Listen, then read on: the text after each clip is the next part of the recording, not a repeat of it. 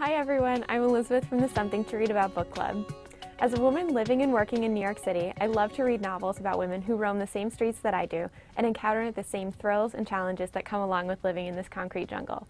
Here are five novels, contemporary and historical, that star New York City women. A Window Opens by Elizabeth Egan. Brooklyn by Colm Tóibín. The Regulars by Georgia Clark. Faithful by Alice Hoffman. And Luckiest Girl Alive by Jessica Knoll.